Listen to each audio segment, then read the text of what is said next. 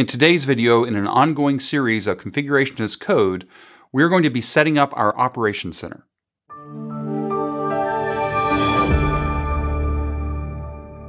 This is the third in a series of videos about how to use configuration as code for CloudBees CI controllers. If you haven't watched the previous two videos yet, the links for those videos are going to be down in the description below. So what we're picking up today is we are going to be setting up a job on our Operations Center to clone in the configuration bundles that are in our Git repository, making sure they are in the right place within the Jenkins home directory, and then making them ready to tie together with our controller. Let's get right into it. New item. We're going to enter an item name called load bundles. It will be a freestyle project. That's our only option. From an SCM section. Now this goes back to the very first video. The only plugin that we installed on the Operations Center other than install suggested plugins was the Git plugin. If you're going to your Operations Center and you do not see Git here as an option, the reason why is that you have not installed the Git plugin. So if you want to be able to follow along, you will need to install the Git plugin on your Operations Center. So I'm going to select Git.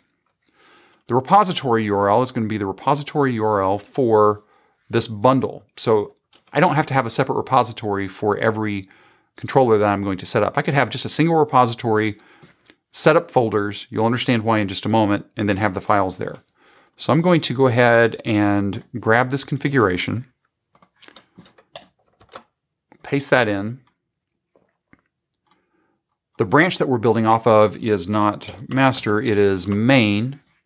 Let's make sure that's true. Yep, so main is my default branch. And now we need to add a step because now we're just hooked up to that repository, but we need to do something. So in my case, we're going to do an execute shell. And the command that I'm going to run is actually two.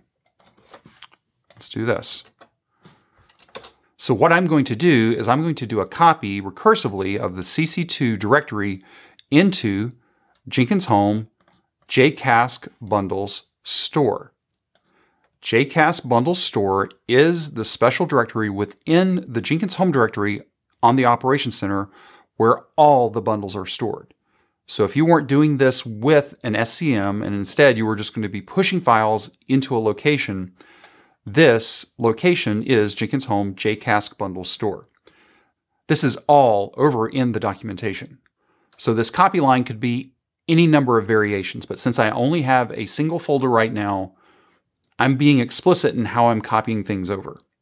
You'll come up with the way that you like doing it the best. Now, the second line, the find, is purely just an output so I can see what's actually contained inside of that JCasC bundle store directory. You could do that. You might not want to do that. It's your choice. But I just want to take a look at what's there. That way I can verify that, okay, all the files are there that I expect to be there. I'm not looking at the contents. I'm just assuming that if it got the files from the repository and I see the files, then I know it's ready to go. Let's go ahead and click on save. And let's do a build now so we can see what happens. We'll come down here. Let's watch the log. Okay, so it did the copy. And now we can see here that when the find was run, we can see varlib cloudbees core OC, that is the Jenkins home by default for a CentOS-based in installation. I have JCasC bundle store, and then I have the directory CC2. And then within CC2, I have bundle, Jenkins, and plugins. So all of the files are there that I expect to be there. Another variation of this that you might want to consider doing. Let's go back up here real quick. Go to load bundles, configure. So I'm just going to do the find, that, that's okay. But now let's do a cat of slash cc2 slash bundle YAML. Again, this is on the Operations Center, so the only people being able to run jobs on the Operations Center should be people that are administrators. If that's not true in your case, then probably this isn't that great of an idea, but I want you to see this as a potential option. That way you can verify a little bit differently. Let's go ahead and build this now. Let's take a look at the second run. And we can see here, not only do we have our find, but we also have a cat of our bundle, and we can see that, oh yeah, that was version one. The reason why this cat can be useful is because over time, it's like, wait, I made changes to my plugin YAML or my Jenkins YAML, but the changes aren't being reflected. Well, if you take a look at the bundle, if you forgot to increment that version number, this would be a quick way of knowing that, oh, well, according to the Operations Center, the bundle number is this. Oh, right, I forgot to bump my bundle number. So again, if you want to use this, great. If you don't want to use it, great. It just gives you the visibility to understand quickly what's going on inside of the file within that bundle. So this was the first step. We needed to get the files out of that repository, since we're using SCM, and into the JCasC bundle store directory inside of the operation Center. Now, that folder did not exist, but when the process ran, it created it for us. The second step that we need to do, we'll go back up to Operations Center, Manage Jenkins, and then let's take a look at configuration as code bundles. And this is where we are going to set up our mapping. We can see that CC2, and this is just because this is really large. Let me back it down just a little bit. That's still readable. Good. So this availability pattern is how we map our controller to our bundle.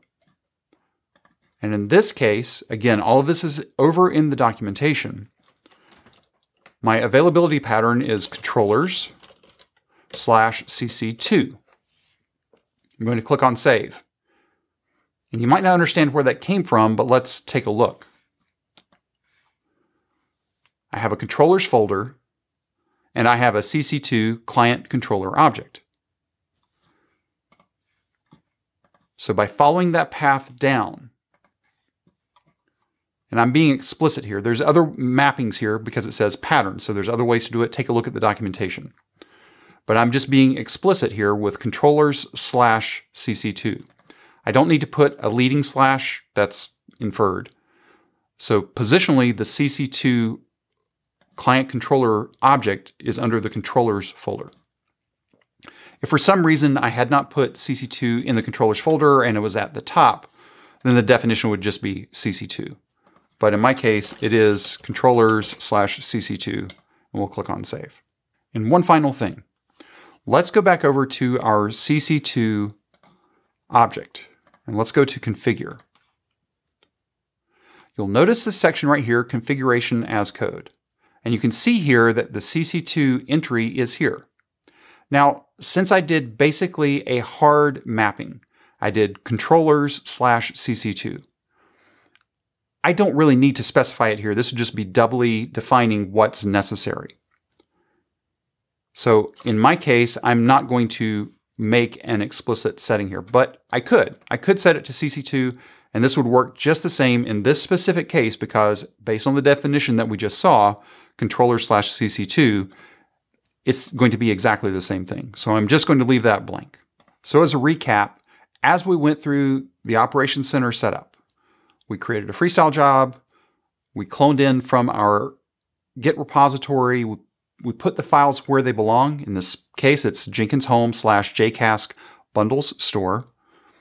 We took a look at it, looked good. We went back into our managed Jenkins and configuration as code bundles, and we assigned the CC2 bundle to controllers slash CC2. We also took a final look at sort of the optional thing we could have done directly on the object itself. We could have also selected, instead of leaving it blank, we could have selected it CC2 and then gone from there. But that's where we're going to end up for today. If you have any questions or comments, you can reach out to us on Twitter at CloudBeesDevs. If this video was helpful to you, give us a thumbs up and if you haven't subscribed to CloudBees TV yet, why not? Take a moment, click on that subscribe button, and then ring that bell, and you'll be notified anytime there is new content available on CloudBees TV. Thanks for watching, and we will see you in the next video.